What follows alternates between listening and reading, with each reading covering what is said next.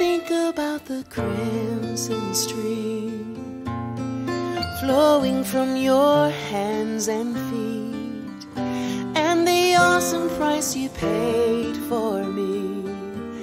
What a sacrifice you made. I was rescued from a hopeless fate when you took my sin away. I stand before you face to face through the sacrifice you made.